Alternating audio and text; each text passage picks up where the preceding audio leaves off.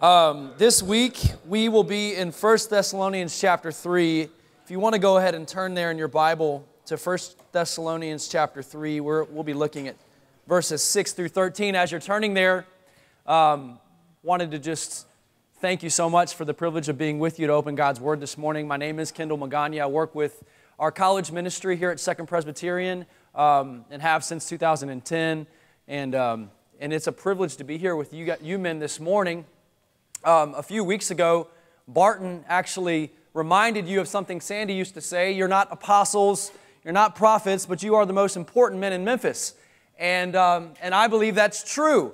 Uh, not because you're the best looking men in Memphis. Uh, no, not because you're the brightest, not because um, you guys are the, the, the, most influential men in uh, the entire city. Um, some of you guys went to Tennessee, so you can't, that can't be the case. No, it's actually, um, it's actually because you men have given your um, energy, your mornings, your time to studying God's Word and mining the depths of the gospel of God's grace. And we just read this lyric, and you guys take this seriously. Holy, holy, holy, Lord God Almighty, early in the morning our song shall rise to thee. And you guys have done just that, and I'm thankful to be here with you this morning. In this letter to the Thessalonians, what we have is a riveting picture of what it means to see the good news of God's grace come into a person's life, to a people's life, and to their world, and to turn their life inside out to turn their world upside down. And that's because the gospel, which you have given your, your time to on Thursday mornings to studying deeply, it transforms people. And the gospel transforms the world that those people live in.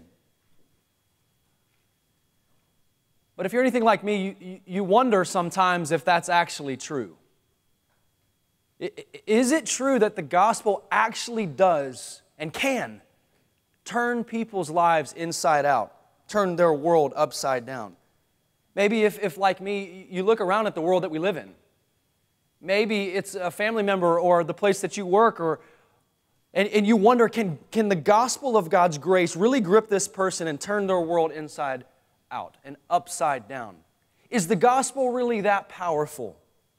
This morning in our text, what we have is a testimony from Paul at just how powerful this gospel is to transform a people, to transform the world that they live in. If you need to be reminded this morning about how powerful that gospel really is,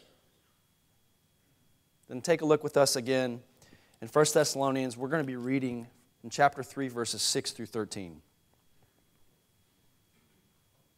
But now that Timothy has come from us, to us from you and has brought us the good news of your faith and love and reported that you always remember us kindly and long to see us as we long to see you. For this reason, brothers, in all our distress and affliction, we have been comforted about you through your faith. For now we live if you are standing fast in the Lord. For what thanksgiving can we return to God for you? for all the joy that we feel for your sake before our God as we pray most earnestly night and day, that we may see you face to face and supply what is lacking in your faith. Now may our God and Father Himself and our Lord Jesus direct our way to you. And may the Lord make you increase and abound in love for one another and for all, as we do for you, so that He may establish your hearts blameless in holiness before our God and Father at the coming of our Lord Jesus with all his saints.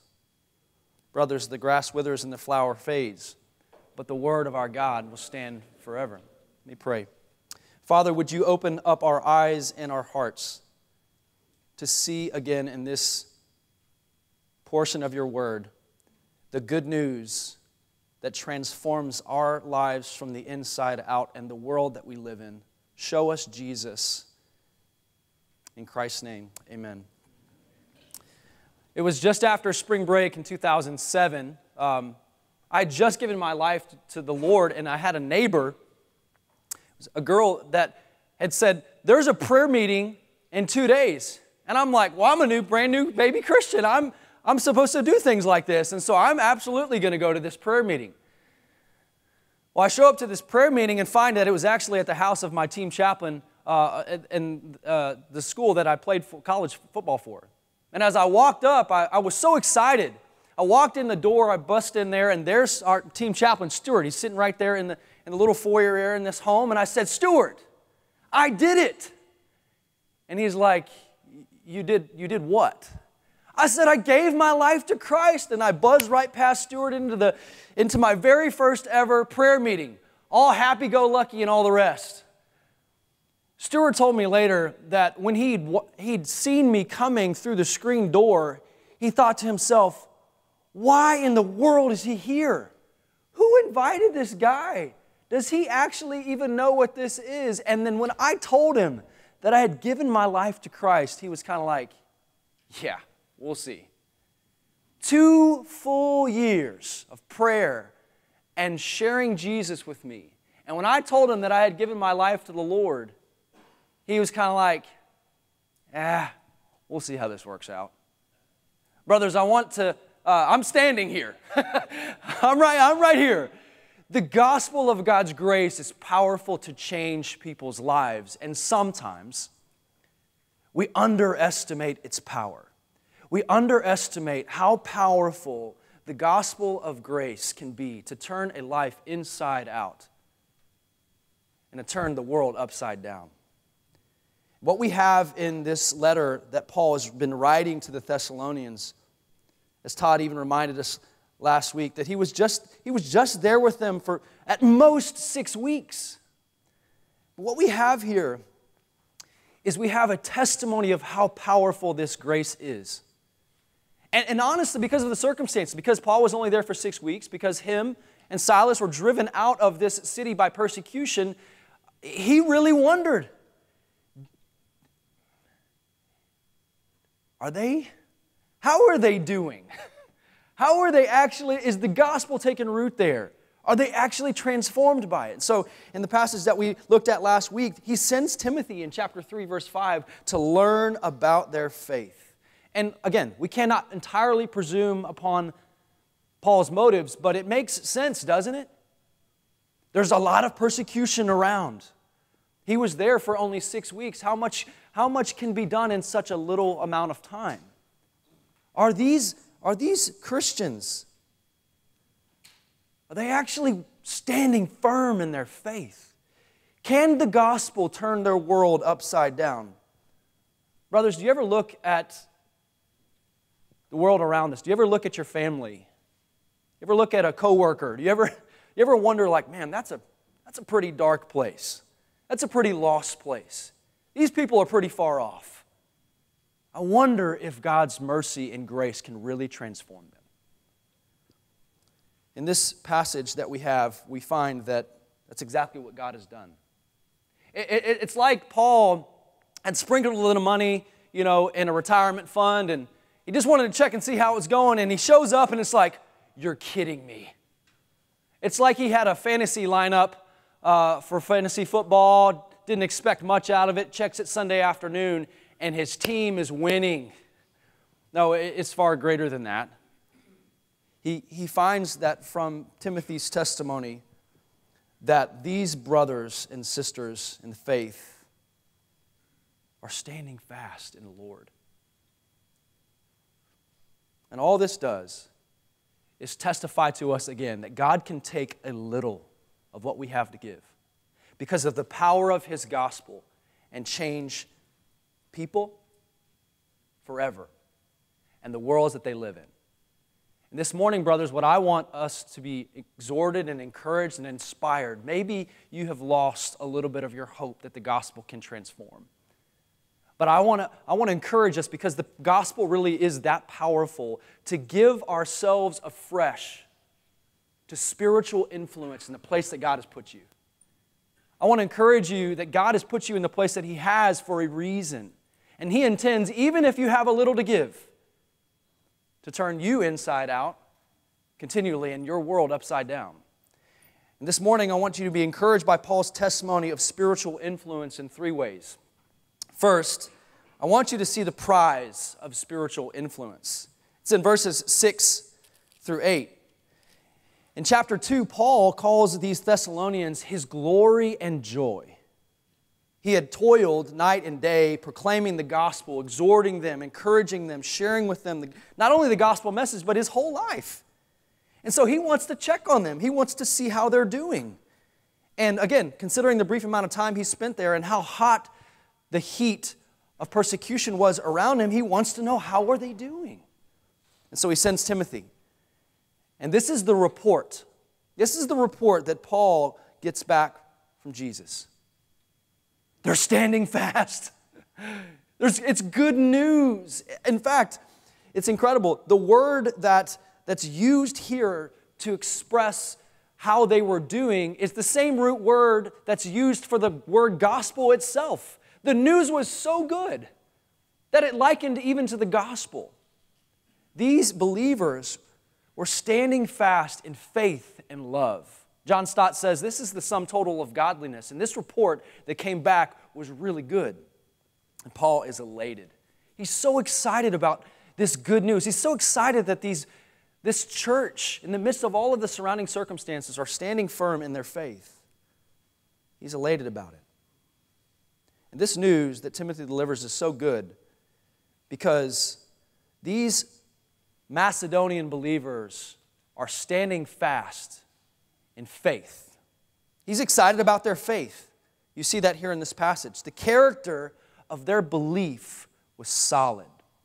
The character of their belief was solid. We, we learned that in chapter 1, verse 8, that their faith was contagious. Uh, their faith was like, it was sounding forth like a trumpet in that, in that. It was contagious, their faith. But not only that, we learn that their faith was radical. Also, in chapter 1, in verses 9 and 10, we found that this good news of grace that had taken these people's lives and turned them inside out, it actually turned them away from living idols. it was that radical. But also, their faith was enduring. And this is what encourages Paul so much is that their faith wasn't just some spark, but it was an enduring and consistent faith in Second Thessalonians, the second letter that he's written to this church, he commends them, he boasts about them, this church specifically among all the churches of God, for their steadfastness in faith. And, and the, amidst their persecutions and all of their afflictions, he's encouraged about the endurance of their faith. They are standing fast in the Lord. And Paul is through the roof about this. But he doesn't stop there. It's not just that these Macedonian Christians believed the right way. It's not just that the character of their belief was solid, he's also so encouraged about their love. The character of their belief was solid, certainly, but it was also the character of their behavior that sent Paul through the roof. Their love was active. In chapter 1, verse 6, we find that these Macedonian Christians were imitators of Paul and Timothy, they had even become an example to the believers in Macedonia and Achaia. The way that they were living, it wasn't just intellectual, it was practical. It wasn't just orthodoxy, it was, it was orthopraxy. Their lives and their love was real, it was active, and it was also authentic. When Timothy brings this report back to them, to Paul specifically, he's so excited because they actually longed to see Paul. And if you remember the context of this book specifically, there was likely those around this, this church that said, Man, Paul hit the eject button. Things got hot, he left you guys. And what we find actually is that they still loved Paul the way that Paul loved them. Brothers, Paul was so excited because their faith and their love was a testimony of the power of God's grace. And that's the report that Timothy brings back. But not just that, Paul is relieved. What we find here is that this news brings comfort and encouragement to Paul.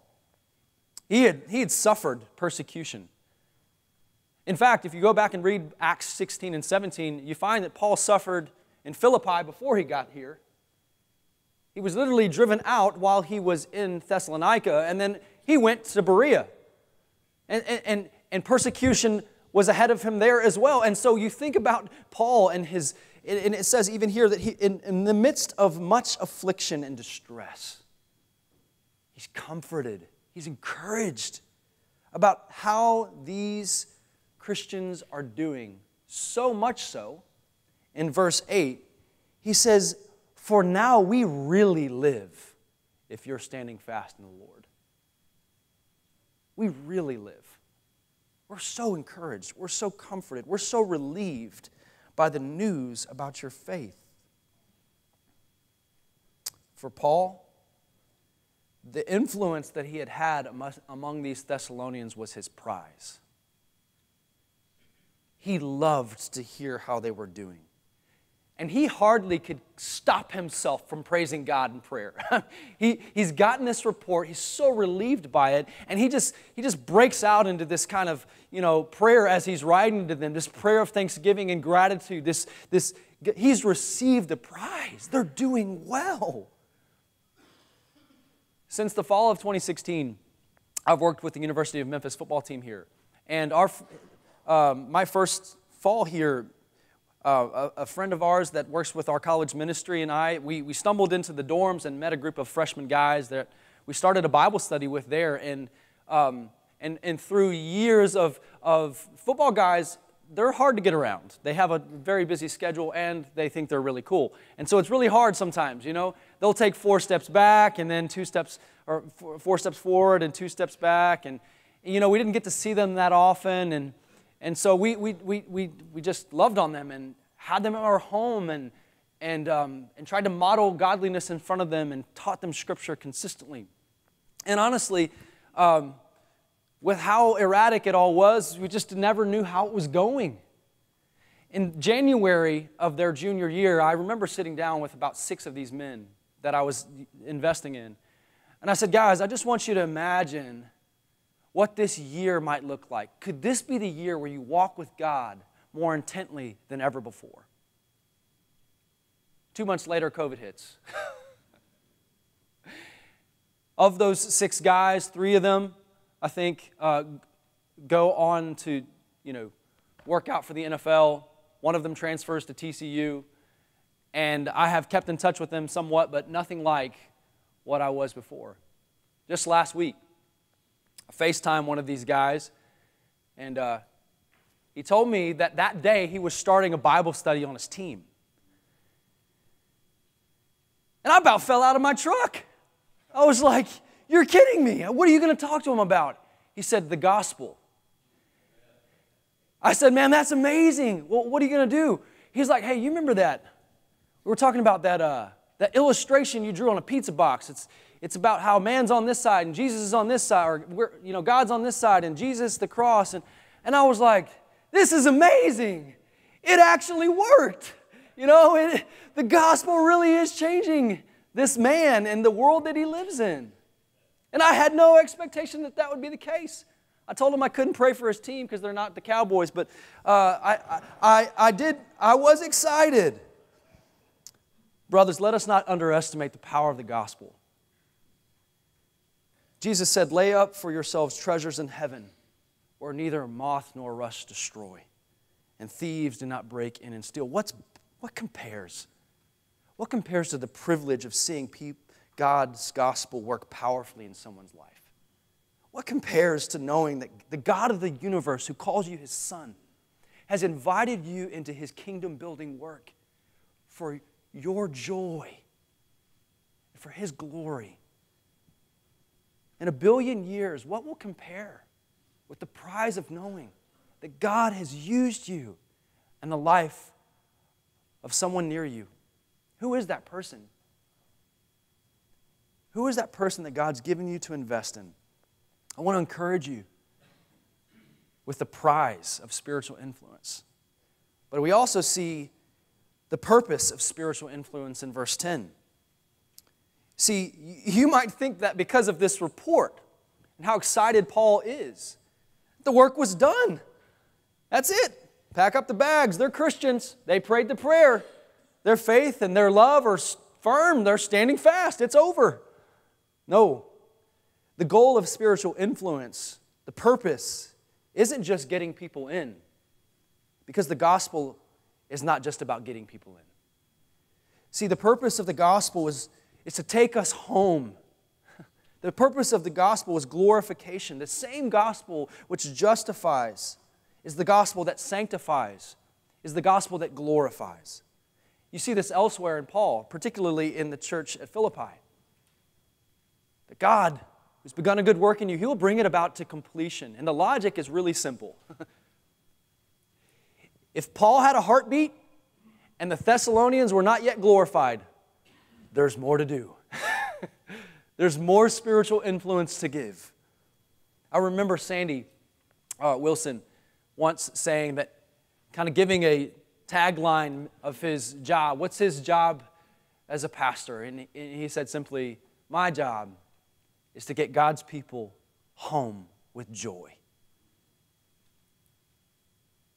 And I don't think that's just the work of a pastor, brother, that, that's our work.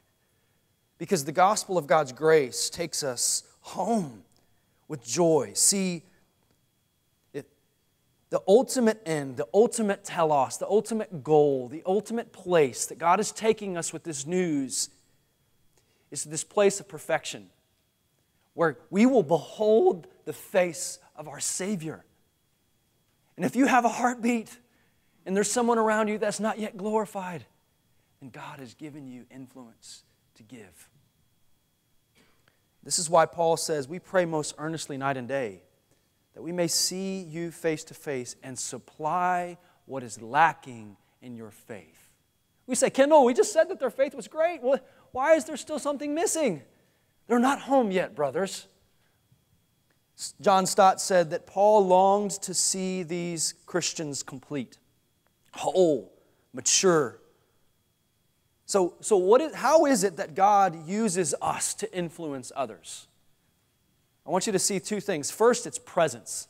It's presence. Paul's prayer here is that he would see them again, that he may impart to them and supply to them what is lacking in their faith. For Paul, the old adage, more is caught than taught, is true. That was, the, that was the way, that was the means for his influence. He wanted to be with them. This is why, when describing his ministry among them, he reminds them that he not only shared the gospel, but he shared his own life. You can teach what you know, but you reproduce who you are. He wanted to give them not just knowledge, but a lifestyle to emulate. And this is important. This is important for us. This is important for followers of Jesus, especially people in this Macedonian church who are experiencing persecution. Last week, um, Todd reminded or, or, quoted something from Alistair Begg. He said Christians are increasingly going to have to choose between obedience and comfort. The next decade will not bring apathy to the gospel, but antagonism. And I, I am more convinced than I ever have been as I work with the next generation.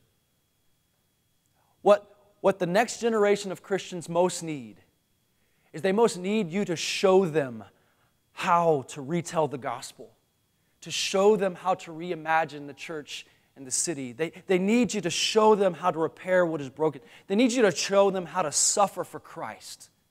They need to see it.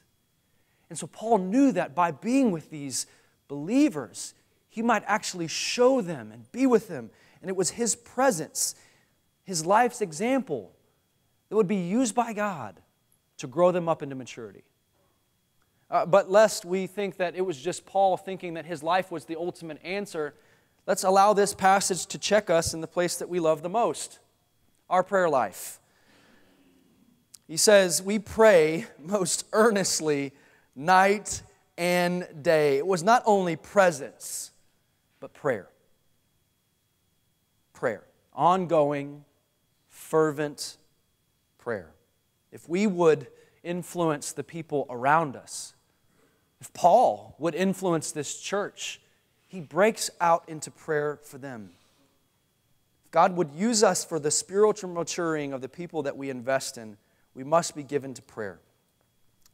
I, I confess myself, there is a de- direct connection for me between my prayer life and the trust I have in the gospel to change people. Let me, let me flip that over on its head for a second. When I'm underestimating the power of the gospel to transform someone's life, it usually shows itself in my prayer life. Paul is begging the Lord earnestly, night and day. This is shorthand. We also know in this path, or in this book that he was actually working all the time. So Paul is just in this, in this position, this season of constantly praying for this church that they would continue into maturity because he believed that spiritual influence was given by God through us via our prayers. And I just want to remind us he didn't even know this church that well. He'd only been with them some six weeks. And all this does is really prove to us where Paul put the hope of his influence. He put the hope of his influence in God. He placed the hope of his influence in the powerful God, and the powerful gospel, which he knew he could be a vessel for. But it was God's power that would change these people. As I became a believer on my football team in college, I stumbled through praying for my teammates and, and awkwardly, I mean, awkwardly sharing Christ with my teammates. And, um, and came up with all of these fascinating ways to try to influence them spiritually. The most sophisticated of which we would spend time playing Mario Kart, uh, which is a video game after practice most days. And God had uniquely given this one guy a supernatural ability in Mario Kart. He always used to destroy us. His name was Nick, and he'd come and play with us. And uh, we created a green jacket for whoever had won that day that he continued to wear. And he just wore it into the locker room and through the campus, just, you know, push it in our faces. And, and through that relationship on a regular basis, we would just have opportunity to talk with him about Christ. And lo and behold, Nick became a Christian. and uh, we joked around. It wasn't Ryan or Dustin or myself that had led him to the Lord. It was actually Mario. Mario led Nick to Christ. And I'll never forget going back to that chaplain that had led me to the Lord and said, okay, so what's the plan with Nick? How are we going to help this guy grow? And he looked at me and said, You're the plan. And I was like, I just became a believer about six months ago. He said, Well, that's great. You got a six month head start. And he gave me this simple thing. He just said, Kendall, concern yourself with being much with God and being much with Nick. And I think, I think that's exactly what Paul is after here. Who do you need to spend time with? How does your desire to see men or women or your children or your grandchildren influence? How ought that shape the way that you pray? What prayers are you begging God for? Brothers, if you have a heartbeat and there's someone around you that's not yet home with joy, then let's give ourselves to being with them and showing them the way and begging God to continue to transform their lives. So we have the prize and the purpose but I also want you to see the power of spiritual influence. What was it that Paul prayed for these young persecuted Christians? What was going to get them to the end? What, what would continue to form and to shape these people to persevere amidst the persecution that they were facing? What would keep them standing fast in the Lord? Well, I'd like to submit to you that Paul, in his prayer for these Thessalonians, looks nothing like the self improvement narrative that we've come accustomed to today. Some of you may be familiar or are not with a guy named David Goggins. David Goggins is an ultra marathon runner, meaning he, he runs long, long distances, sometimes for days, over 100 miles. He's an ultra cyclist. He's a former Navy SEAL.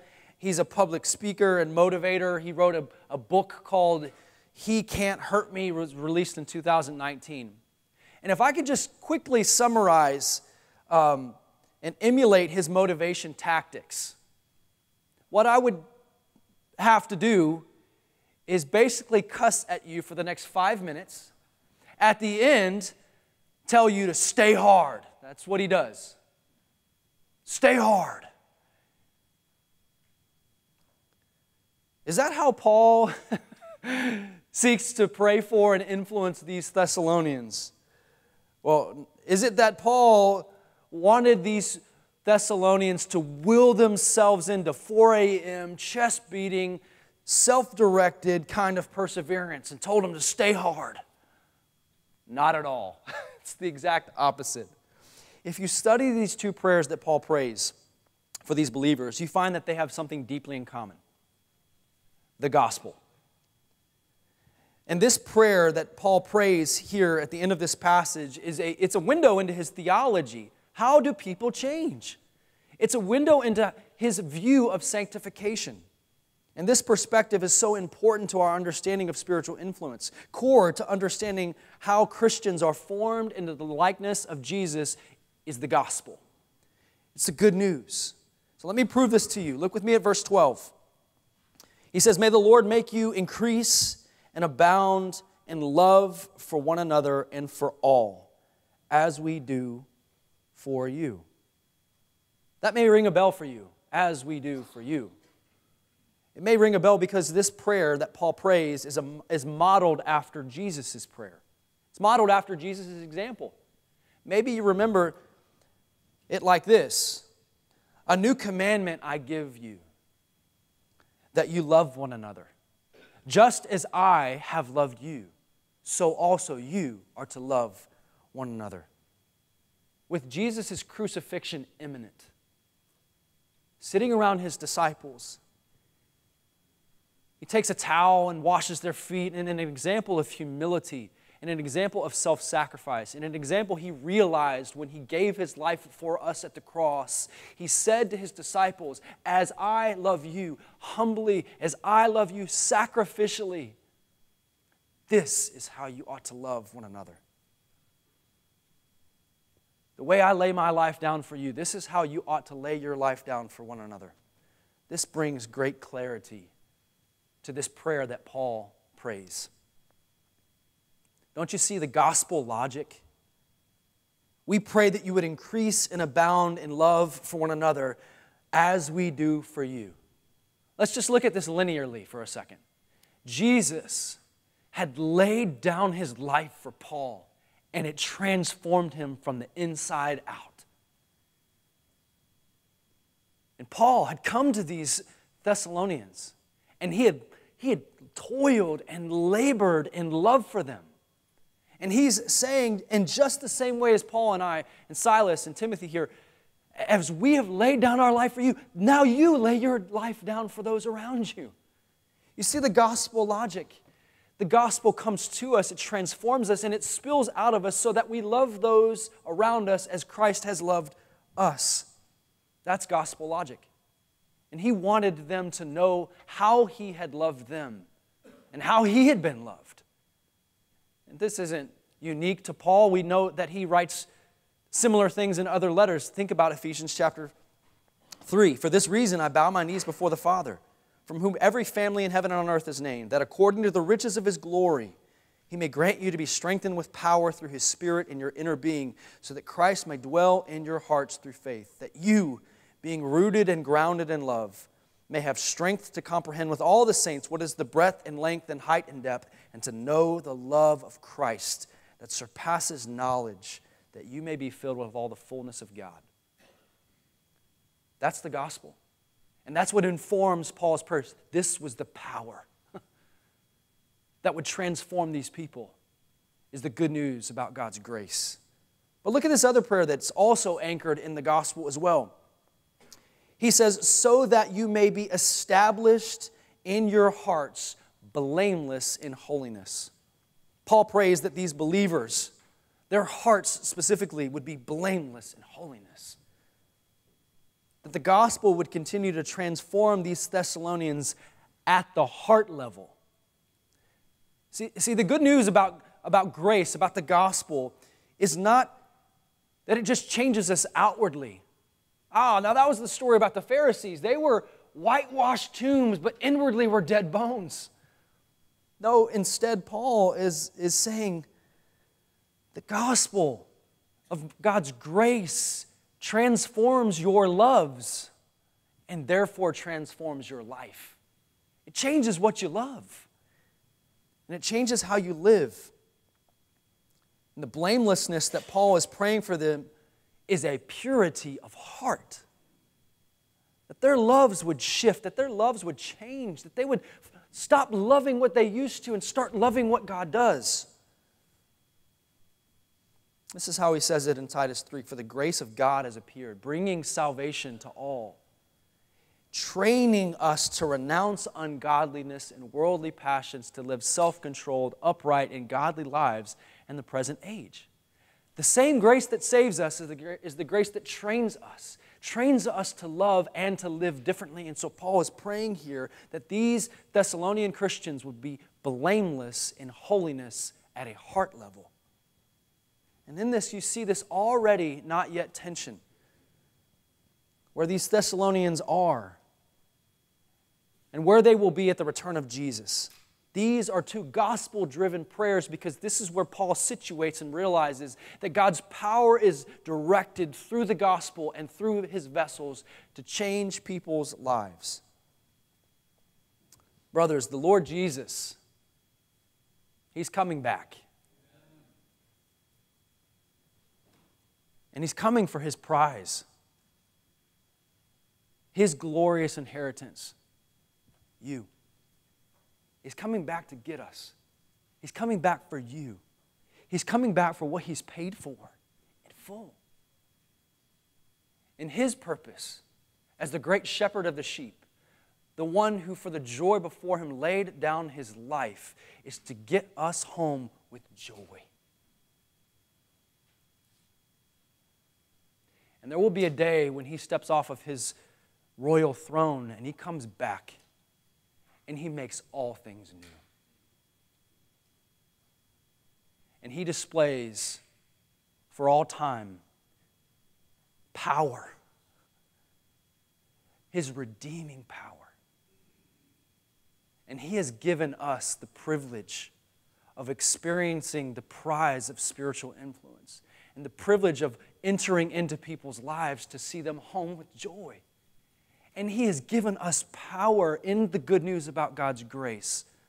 Brothers, may it be said of us in this room that we really are the most important men in Memphis because we have the most important and the most powerful message that can change people's lives from the inside out and turn their worlds upside down. May that be said. Let's pray. Father, thank you for these men. What an encouragement that they are. Would you keep them going? Would you encourage them? Would you open their eyes to see the men and women, the places that you've put them? And would you revive our hope in the power of your grace to change people from the inside out? And God, would you turn this city upside down? Would you bring your kingdom here in the city of Memphis as it is in heaven? And all of these men pray together and say, Amen. Amen. Thank you, brothers.